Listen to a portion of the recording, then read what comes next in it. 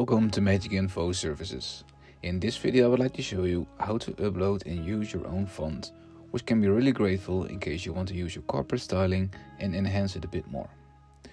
Now, in order to give you an idea of how to do this, now we would like to try this font. So I click on download and it will download a zip file. Make sure to unpack the zip file before you upload it. Now if we head over to MagicInfo, go to content and head over to WebAuthor where you can actually upload your own font. Make sure to select your supported display of course.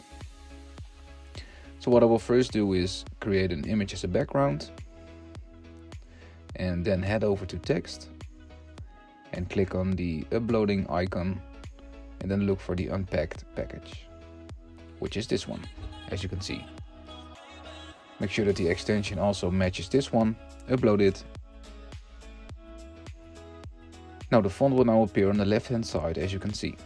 Drag and drop it in your content item and you can actually create any type of text that you want to. As you can see, I've uploaded the font, changed the color and I can now place it wherever I want to.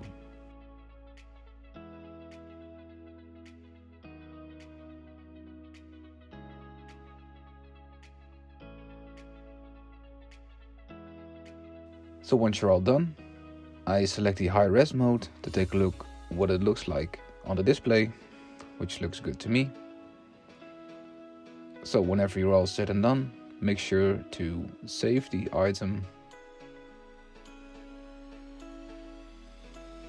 Now please note this can only be done in a WebAuthor, so for this you will either need a premium connection or a premium license. Now whenever you're done, you can schedule your content item and then you can now have your own custom font on your display to make sure to enhance the corporate styling or to use the preferred font that you want to. Thanks for watching.